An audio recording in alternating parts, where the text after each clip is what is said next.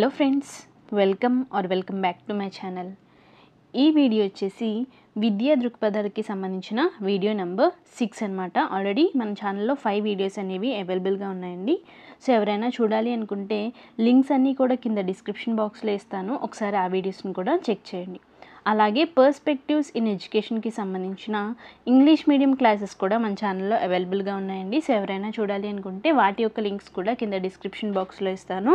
Orders మన ఛానల్లోకి వెళ్ళి ప్లేలిస్ట్లోకి వెళ్తే మీకు ఇంగ్లీష్ మీడియం క్లాసెస్ అన్నీ కూడా ఆర్డర్లో కనిపిస్తాయి.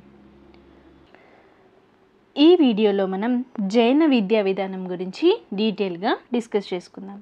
సో మీరు కనుక మన ఛానల్కి రావడం ఫస్ట్ టైం అయినట్లయితే ఖచ్చితంగా మన ఛానల్ని సబ్స్క్రైబ్ చేసుకోండి వీడియోని లైక్ చేయండి మరియు షేర్ చేయండి.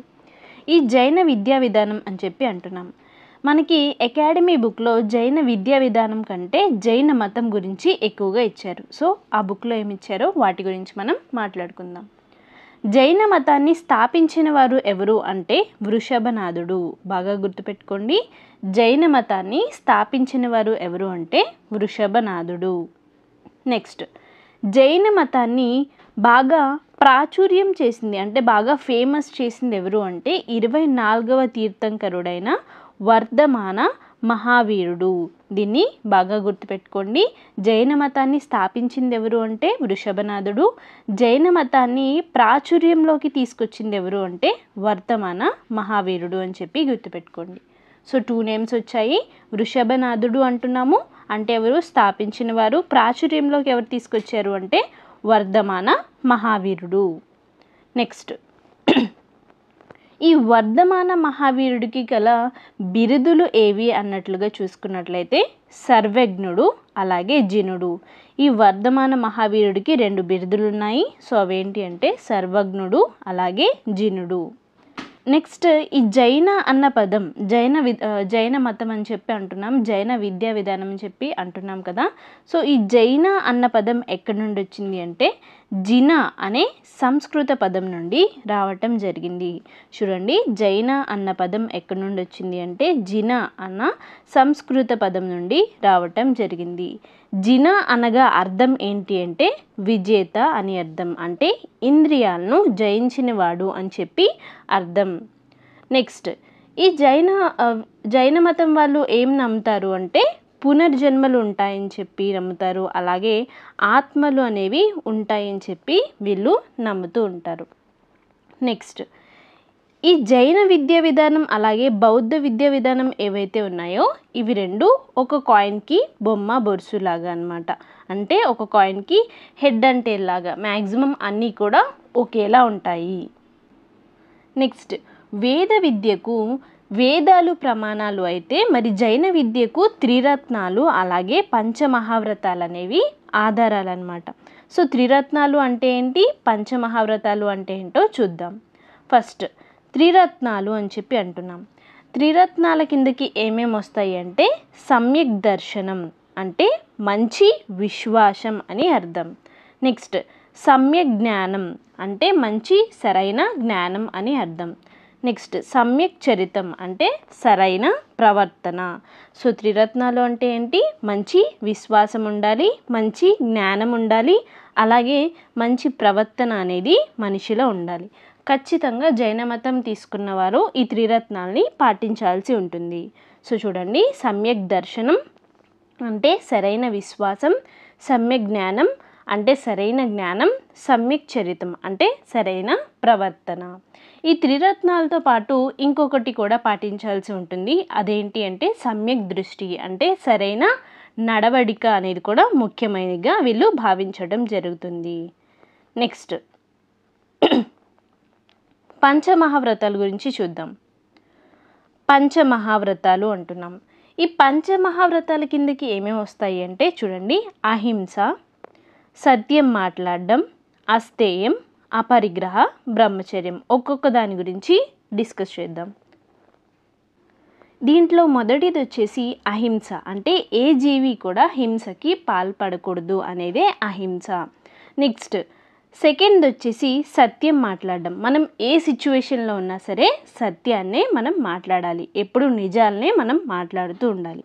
నెక్స్ట్ అస్తేయం అని చెప్పి అంటున్నాం. అస్తేయం అంటే ఏంటి అంటే దొంగతనం చేయకూడదు. నెక్స్ట్ అపరిగ్రహ ఎవరితోనూ బంధాలను ఏర్పరచుకోకూడదు. బాండింగ్స్ని మనం ఏర్పరచుకోకూడదు. నెక్స్ట్ బ్రహ్మచర్యం ఎవరితో కూడా మనం శారీరకంగా కోరికల్ని మనం నియంత్రించుకోవాలి.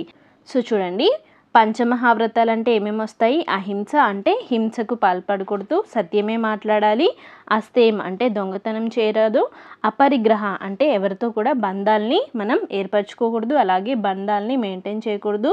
అండ్ నెక్స్ట్ బ్రహ్మచర్యం శారీరకమైన కోరికల్ని నియంత్రించుకోవాలి.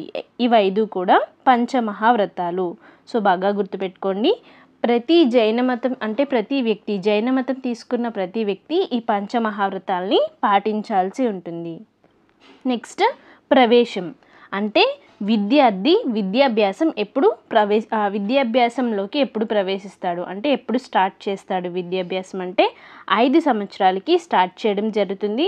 ఎక్కడ అంటే విహారాలు ఆశ్రమాలు లేదా ఆరామాల్లో ఈ విద్యాభ్యాసం అనేది స్టార్ట్ చేయడం జరుగుతుంది. సేమ్ బౌద్ధ విద్యానంలో ఎలా అయితే ఉందో అలాగే ఇక్కడ కూడా విద్యాభ్యాసం అనేది జరుగుతుంది.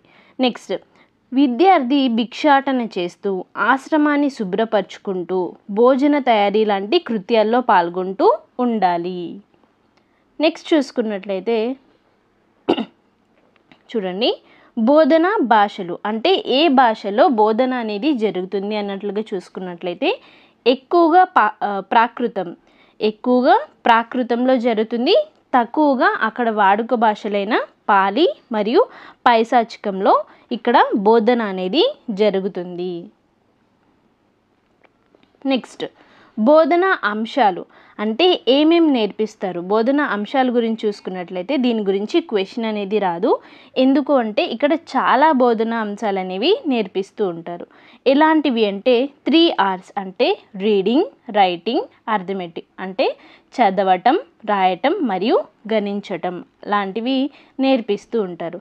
అలాగే ఉపనిషత్తును నేర్పిస్తారు వేదాల్ని నేర్పిస్తారు తీర్థంకరుల యొక్క కథల గురించి నేర్పిస్తారు. గణితం తత్వశాస్త్రం ఇంకా వ్యాకరణ శాస్త్రాలు రసాయన శాస్త్రాలు సామాన్య శాస్త్రాలు యోగా సంగీతం ఆయుర్వేదం. సో ఇవన్నీ కూడా ఇక్కడ నేర్పిస్తూ ఉంటారు.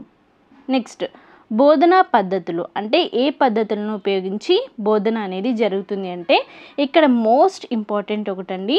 స్వ సామూహిక బోధనా పద్ధతి అనేది అమలులో ఉండదు. సో బాగా గుర్తుపెట్టుకోండి.